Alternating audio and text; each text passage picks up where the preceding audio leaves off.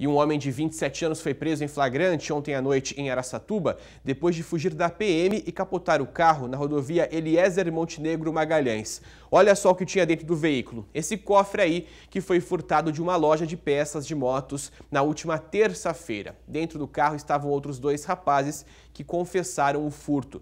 Existe a suspeita, pessoal, de que os suspeitos estivessem aí fazendo diversos furtos na cidade nos últimos dias. Na casa do homem de 27 anos, a PM encontrou então uma munição de calibre 380 e também porção de maconha.